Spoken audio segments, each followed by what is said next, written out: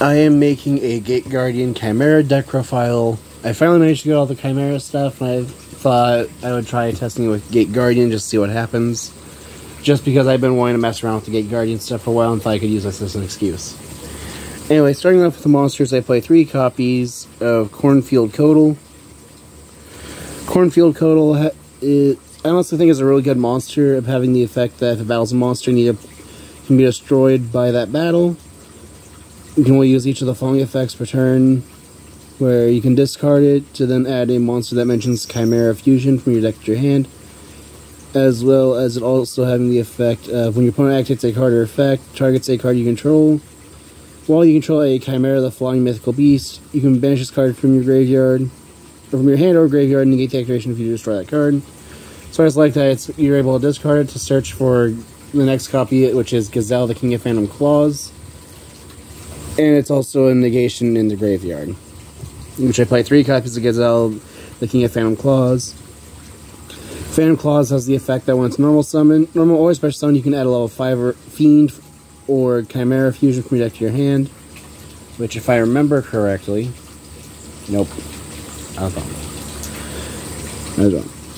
But its other effect is that if it's sent to the graveyard as fusion material, then you can add an illusion monster from your deck to your hand. Can use each effect of Gazelle once per turn.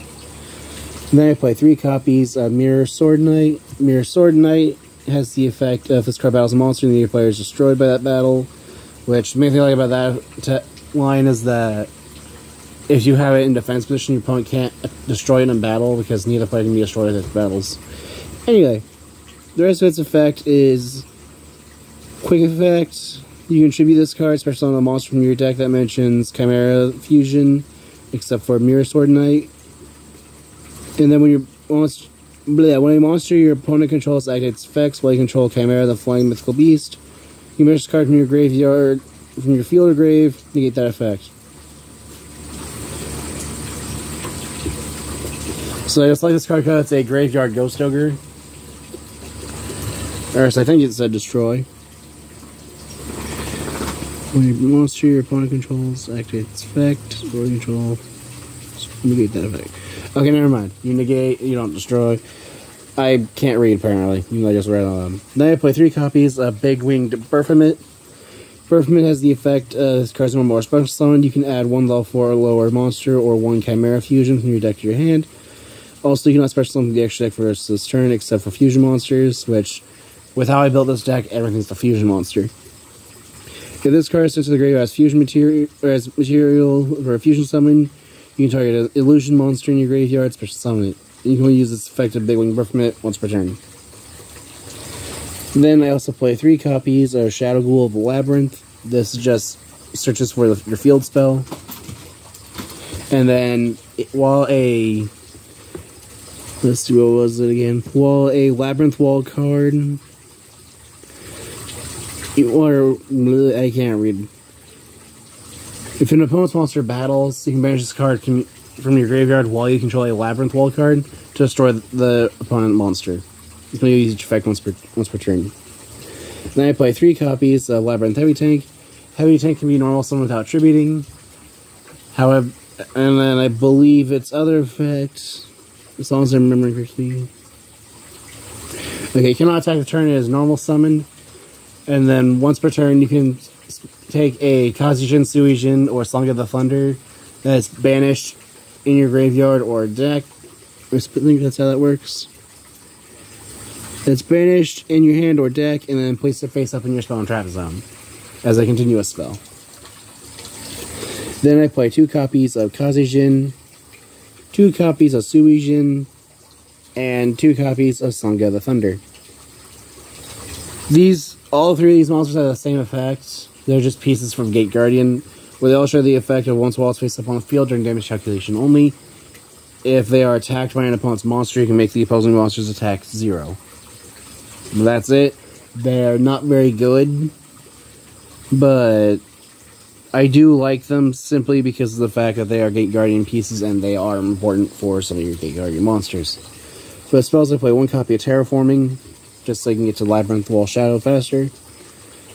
Then I play two copies of Sacred Sword at 7 stars. This lets you banish a level 7 monster from your hand or face up field to draw two cards. You can activate one per turn. Then I play three copies of Labyrinth Wall Shadow. The dumb card this card part of this card that I think of is that it's not a once per turn. So if you have multiples of the field spell, you can use its effect multiple, multiple, multiple times a turn. But fail. I apologize for the dogs going insane, but has the effect that monsters cannot attack the turn they're summoned unless they're level 5 or higher. And then during your main phase, you can take a Sanga, Suijin, or Kazejin and place them face up in your spell and trap zones continuous spells. At the start of your opponent's battle phase, you target one monster your opponent controls with less than 16 attack and destroy it. Next, I play three copies of Double Attack Wind and Thunder. Wind and Thunder has the effect that if you control a Gate Guardian monster, you can target one card in the field and destroy it, and then during your main phase, banish this card from your graveyard to add a Sanga, Kazejin, or Suijin that's banished or in your deck to your hand. You can only use each. You can only use that effect at double attack thunder when once per turn. I specified that effect because if you have multiple thunder and winds, you can use them multiple times a turn. You just can't use the grave effect more than once. Then also play three copies of Chimera Fusion. Chimera Fusion has the effect that during the main phase, you can fusion summon a monster from your extra deck using monsters from your hand or field as material, including a fiend or beast monster. And in your main phase, if this card's in your graveyard and you have a Chimera, the flying mythical beast, on your field or in your graveyard, you can activate one of these the following effects, which is either add it to your hand or banish it to special summon both Gazelle, the King of Mythical Beasts, and Baphomet in your deck graveyard. Which I don't have Gazelle or Baphomet, so you're only ever returning it to your hand. Then I play three copies of Fusion Deployment. This just lets you reveal a Fusion monster in your extra deck, summon one of its mentioned materials from your deck, and then you're locked into fusions for the rest of the turn. You can only activate one per turn, and like I said, the entire extra deck is fusion. Then I play two copies of Prey of the Jiraigumo. This card sums is a trap that summons itself as a monster, and then also destroys one monster your opponent controls in its column. So if you're playing someone using links, you put this in one of the extra monster zones, take up the other one, and now you're guaranteed to destroy with its effect. And it also has the same grave effect as uh, double attack, wind and thunder. Then to finish off the main deck, I play three copies of There Can Be Only One, just because every monster in this deck, minus Mirror Knight and Cornfield, are all different monster are different types of monsters. As those two monsters are the only monsters in the deck that share the same typing. That's it for the main deck. Moving on to the extra deck. The extra deck, I play three copies, a Gate Guardian of Wind and Water. I think this is one of the funniest negation cards, as it is a spell trap negate. Once per chain, twice per turn. That's the main thing that makes me laugh, is that it can negate spells traps twice per turn, but only once in a chain. It's meaning, like, if you go, if your opponent activates something like Harpy's Feather Duster, you chain this to negate, and they chain infinite impermanence, which I don't that wouldn't really work unless they already have board established. This will not be able to negate the infinite impermanence. I believe though if you had a second one you'd be able to. see. Okay, no, you would not be able to because it is a hard twice per turn. Then I play three copies of Gate Guardian of Thunder and Wind. This lets you add any spell or trap that mentions Gate Guardian from your deck to your hand. And you can only use that effect once per turn. Then I play one copy of Gate Guardian of Water and Thunder. This just makes so that you once per turn, or once per turn. I believe it was twice per turn. Once per turn. Blah, blah. You can only use twice per turn. Okay. So basically, this has the effect that twice per turn, once per chain, you can target one monster your opponent controls, reduce attack to zero.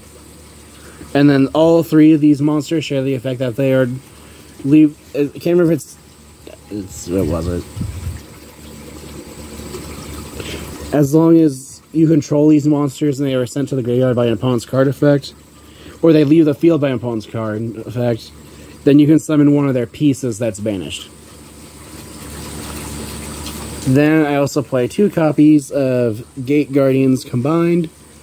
This has the same removal effect as the other three, where if it leaves the field, you summon a Gate Guardian that is level 11 or lower from your deck, or from your deck, extra deck, or banish. And then it is a thrice per turn target negation. Then I play three copies of Chimera, the King of Phantom Beasts. The King of Phantom Beasts is always treated as Chimera, the flying mythical beast. And it also has the effect of you, can only use each of its following effects per, once per turn. Or if this card's fusion summoned, you can activate its effect. So you can send one card from your opponent's hand at random to the graveyard. And then during the end phase of this turn, or you activate its effect so that at the end phase of the turn, your opponent sends a random card from their hand to the graveyard. Then during your opponent's turn, quick effect, you can banish this card from your graveyard. Then target one beast, fiend, or illusion monster in your graveyard and special summon it. But the main reason you play three of this one is for your one, your three copies of Chimera, the Illusion Beast. Ideally, two of these would be, uh, or one or two of them would end up being Guardian Chimera. I just don't have any Guardian Chimera, so I'm not using it. But ideally, they would be Guardian. At least one would be Guardian Chimera. But this monster has the effect of its name becomes Chimera, the, fl- the flying mythical beast, while it's on the field or in the graveyard. This card can attack all monsters uh, all monsters a number of times each battle up to the number of materials used for its summoning, which requires Chimera the Flying Mythical Beast and one or more illusion monsters. But and then it also has the effect that if this card battles a monster, neither monster can be destroyed by that battle, which is an effect shared by most of the illusion monsters at the moment. And at the end of the damage step, if this card battles an opponent's monster, you can change that opponent's monster attack to zero, also negate its effects. So this is just here because if you summon this using at least three monsters, meaning Chimera and two other illusion monsters, then this can just attack one monster three times and you just win. But that's it for my Gate Guardian Chimera deck profile. If you have any ideas what I can do to improve the deck, any ideas for decks like to be made in the future, or decks like to see face each other, feel free to comment down below. Thanks for watching.